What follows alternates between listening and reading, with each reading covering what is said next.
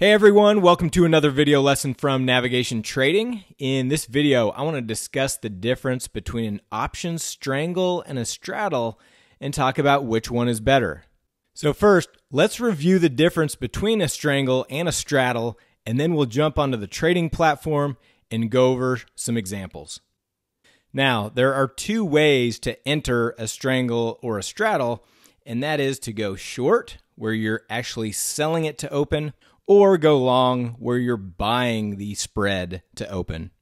Let's start by doing a comparison of the short strangle versus the short straddle. In both cases, we like to enter in a market neutral situation.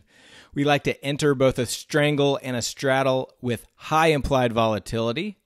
When you're selling a short strangle or a straddle, the risk is theoretically undefined. And then there are two main differences between the two. On a short strangle, you're going to have a little bit higher probability of profit on the trade. Whereas with a short straddle, your probability of profit is going to be lower. And with a short strangle, you have a lower profit potential than with a short straddle, where you have a higher profit potential. Just remember there's always a trade off between risk and reward. If your probability of profit is higher, then typically your profit potential is lower. And on the flip side, if your probability of profit is lower, then you should have a higher profit potential. Let's go to the trading platform and take a look at an example to make this all make sense. So we are on the TD Ameritrade Thinkorswim platform, and I have set up two theoretical positions on the Analyze tab. First, a strangle, second, a straddle, and the orders are colored red, indicating that they are short. We've checked the box for the short strangle, so you'll see the visual representation in the graph up above. So on the graph, you'll notice a couple of things. One, we have our price slices set to our break even points, and we have our calendar set to the expiration date of these particular options. And by doing that, the platform gives us our probability of profit if we held this trade all the way to expiration, which in this case is a little over 68%.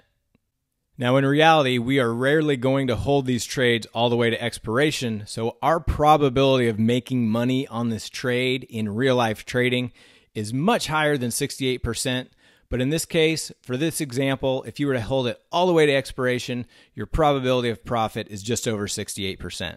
And if you keep your eyes on the little box with the teal numbers down here in the bottom left hand corner, you can see that our max potential profit at expiration is $1,955.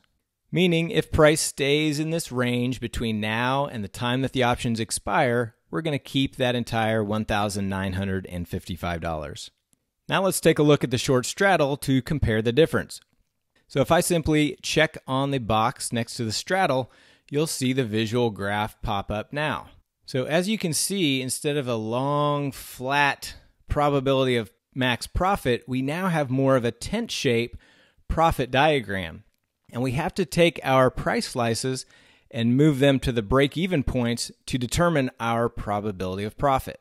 Our probability of profit at expiration went from a little over 68% down to just over 45%. So with a straddle, we have a smaller range to make a profit in, but you can see the max profit that we can attain on this trade is a little over $8,000 if we pinned right at the short strikes. So in trading short strangles and short straddles, one is not necessarily better than the other. It just depends on your underlying assumption if you think the underlying symbol is going to trade in a narrow range or if you want to trade in a much wider range during your time in the trade.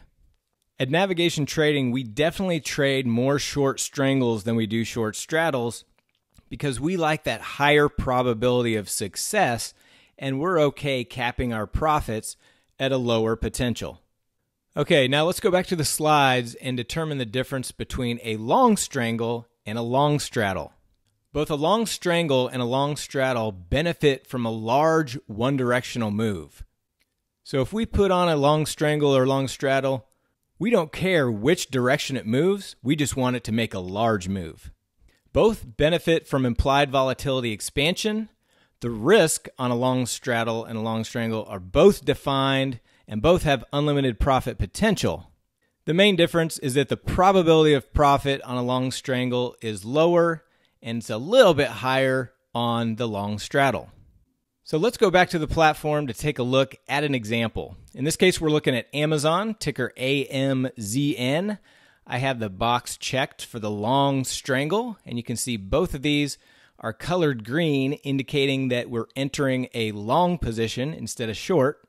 And if we take a look at our graph here, we've set our price slices to the break even points, and you can see that the risk is defined. In this case, the max we can lose on Amazon on a long strangle is $4,635.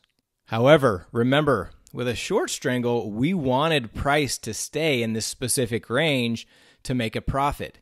In the case of a long strangle, we need a large directional move in one direction or the other, and we need to be outside of these price slices at the time of expiration to make any money.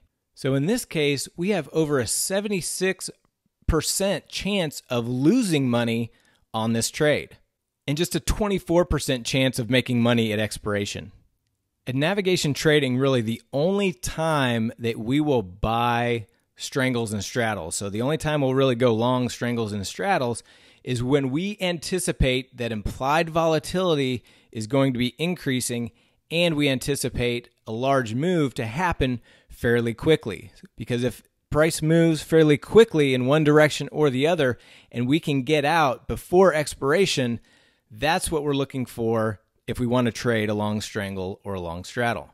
As you can see, it's a very low probability trade, and for you to make any money, the price has to move very quickly and in a large way for you to make money.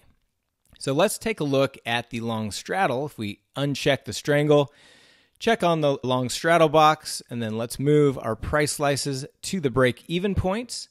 What you'll see is now we have a probability of a little over 59%, and that is if price stays within this range we're still losing money over 59% of the time. However, the range is more narrow. So if we do have a, a decent move outside of those break even points before expiration, that's when we can profit on the straddle. Again, similar to a long strangle, the long straddle is a lower probability play, and we have a course about how to trade options on earnings announcements, and that's one of the key places that we will utilize this type of a strategy. We typically don't place this type of trade on an index or an ETF because the probability of actually making money in those situations is very low. So I hope this lesson was helpful in helping you determine when to enter a long strangle versus a long straddle and a short strangle versus a short straddle. If you want to learn the step by step details of how to trade each of these strategies, come check us out at navigationtrading.com. You can try out our pro membership for just $1 for 14 days. We hope to see you on the inside. Happy trading.